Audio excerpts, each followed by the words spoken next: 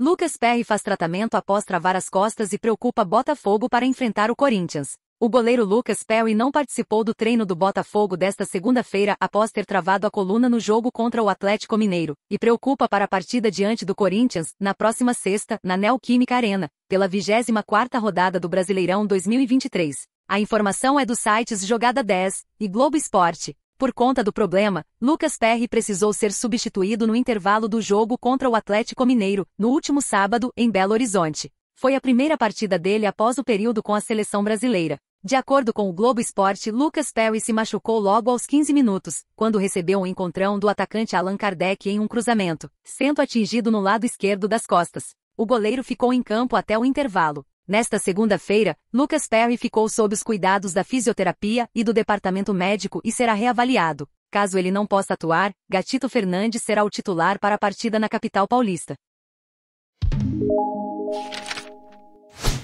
E aí? O que achou das notícias de hoje? Deixa nos comentários sua opinião e se inscreva no canal para sempre se manter informado.